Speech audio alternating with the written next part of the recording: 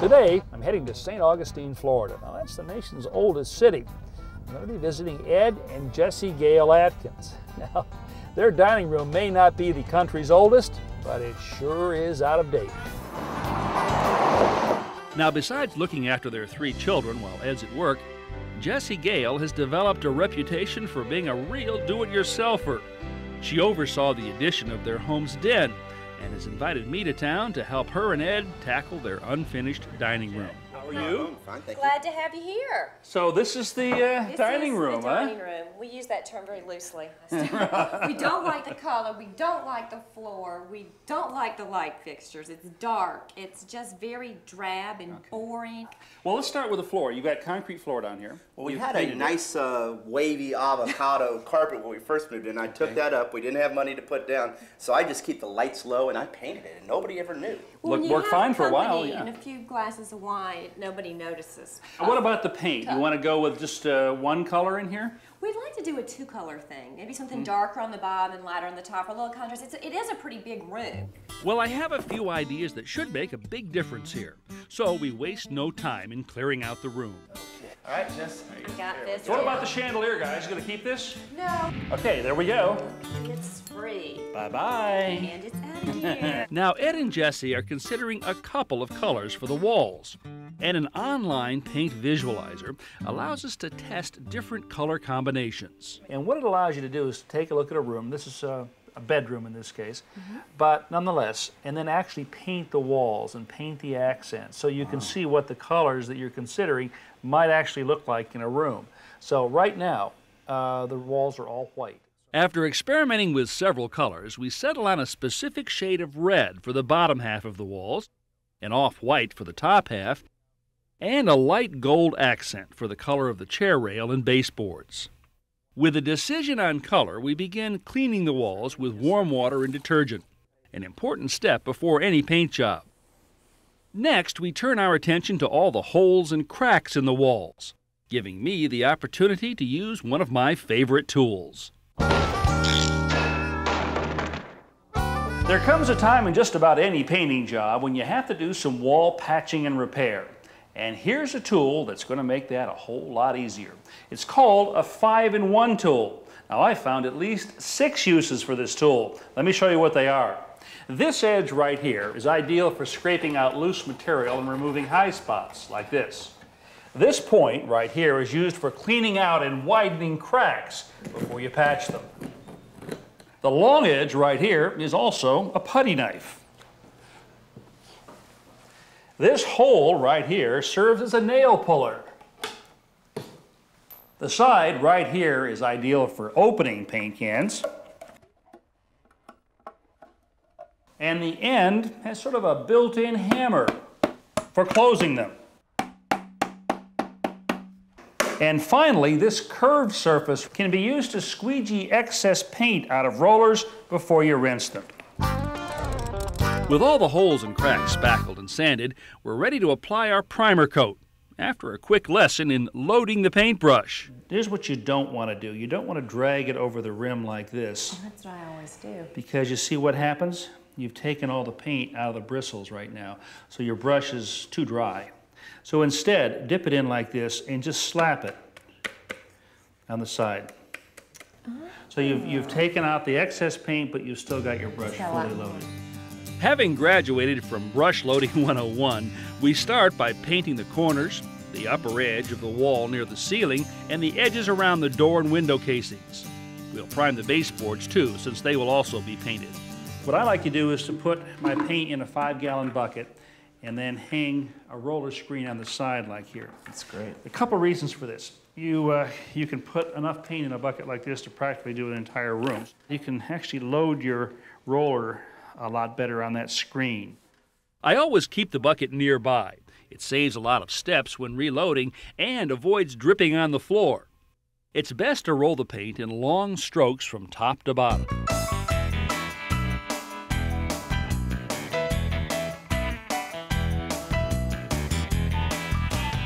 All right, guys, there are your paint chips. Base color, top color, and the color of your chair rail. And the chair rail is going to separate those two, just like that. Now, they don't call this chair rail for nothing. Because originally, this was designed actually to keep the back of a chair from damaging the wall. So traditionally, the chair rail is about at the height of the chair back. We first measure the height of the chair, then transfer that mark to the wall. Then I'm going to add about a half an inch because I want the top of the chair rail to be a little bit above this. So we'll go a half an inch for that. And then remember, we're putting a new floor in the room down here. That's going to be about a half an inch thick. So another half an inch for that. And that puts the top of our chair rail right there at 37 inches, okay? Okay. Now, we want to break our paint, though, kind of in the center of the rail, about right here. So let's make a mark. All right there. That's where we want to break the two colors. We'll extend this mark across the wall using a laser level. I'm going to put the notch right here on the mark, okay? And then there's a built-in level right here. I'm going to keep moving this until I get the bubble right in the center. Once we're level, Jesse makes marks directly on the laser line, about every 12 inches. Go right into the corner and then go around the wall there. You see how this is designed to go right around the corner? Wow. And there's one more little mark out there. here.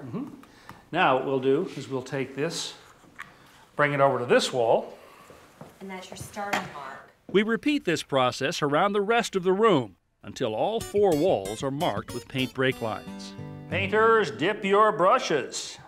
All right, this is our top color here, guys. I'm going to uh, strike a line down here where we drew our laser line. This doesn't have to be perfect because we're go- it's going to be concealed behind the chair rail.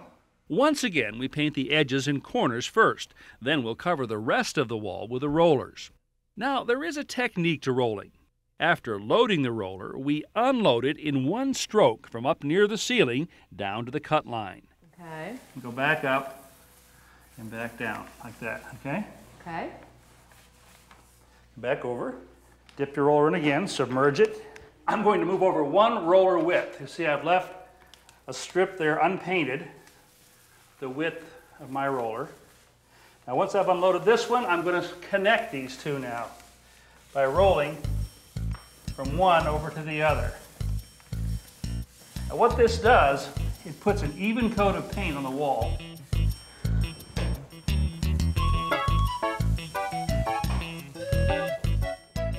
Here's where this room is going to really start coming to life. I almost need sunglasses with this color. I like it. Hey Ron, why do painters always wear white clothes?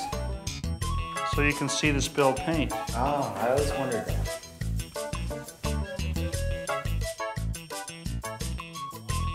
Well, guys, I'd say we're finished for today. So uh, tomorrow we'll come back, put our chair rail on, put your new floor down here, and do some decorating. Really finish up this uh, this room makeover. Nice. It's looking good. isn't it? Yeah, that really dried down, kind of really matte finish right now. I think it looks phenomenal. Since her husband Ed has to work, day two of our dining room makeover here in St. Augustine, Florida, is left to Jesse Gale and me. We start by painting the baseboard our third color, light gold. Once we're finished with the baseboard, we move outside to paint the chair rail, which we primed earlier. Painting the chair rail before it's put up saves the trouble of having to mask the wall later on. The laminate flooring that we'll be installing today will lie on top of this foam underlayment that will act both as a moisture barrier and a cushion. Now, when the floor is all down, it will expand and contract a little bit. So we're going to use these spacers uh, to create about a quarter of an inch gap all the way around. Want to grab the next plank? Each laminate plank has interlocking joints on the ends and on the sides, eliminating the need for any adhesive along the edges. When we reach the end of a row, we simply measure the distance and cut the last plank to size with a circular saw. Let's put this down. Rather exhilarating. Yeah? I In like what that. way? I like that power. That was fun. Jesse installs the final plank in the first row. Then, in order to stagger our joints, we start the second row using the cutoff piece from the first row. This time we interlock the side joints together. This is the first board where we're going to have to interlock both the end of the plank and the long side right here. So for this, if you'll back up just a little bit, we're going to start again by engaging the long side. There you go. Slide it down to me a little bit. And then drop this down. Now this is interlocked. This joint right here though is still open, okay? To close that up, we're going to use this tool. It's called a tapping block. There's a slot right here. That slot is going to slip over that tongue or tab right there. And then I'm going to take a hammer and drive this down. Watch that joint down there. It'll close up.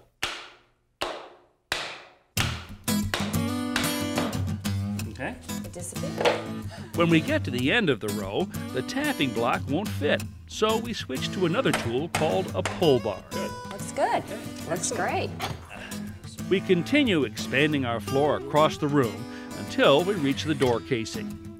Here, we stack a piece of flooring on top of a piece of underlayment to create a depth guide, and use an undercut saw to cut away the bottom of the casing so that the flooring can slide beneath it. Using some guidelines I've drawn to approximate the shape of the door casing, Jesse uses a jigsaw to cut the shape out. Okay. Good. We lock the plank into place, then slowly drive it beneath the casing by striking the opposite end of the entire row using the tapping block. Easy, easy. A little more, a little more, a little more. Good. Right there. Hold it. Okay. We're done. Excellent. Next, we apply construction adhesive to a T-shaped transition molding strip designed to cover the joint between the two different floors. We conceal the expansion gaps between the baseboards and the edge of the floor with strips of quarter round which we attach with a pin nailer. Next, we move on to our chair rail, cutting 45 degree miters on both ends. Ah, let's see if we've got a fit here, Jesse. Perfect on this end. How are you down there? I've got it in perfectly. Okay. We've already marked the stud locations, so Jesse and I fire a couple of finish nails into each one to secure the chair rail into place. Okay. Turn it on. Ah, pretty. Oh, that looks nice. Wow. Huh? So this is it. It looks excellent. You wouldn't know it was the same room, would you? I- well, look who's would- home from work. Hey there, no guy. Wow. Look what we did while you were gone. Well, you know, you Looks had a part in it, but you know the the detail work. What do you think? Like the floor? Beautiful, gorgeous. Did you think you were at the wrong house? I, I honestly did. Look, well, look at the light. And what about these colors? Huh? I'll tell you, You gotta love them. It's going to be beautiful with the furniture and such. You know, I'm sure glad you came home when you did.